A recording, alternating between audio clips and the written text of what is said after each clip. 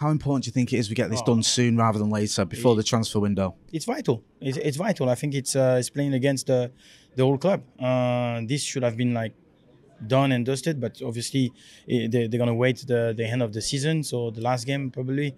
And uh, I think it's already uh, hopefully signed or hopefully agreed because it's uh it's just so important for for the manager for the clubs to to move forward.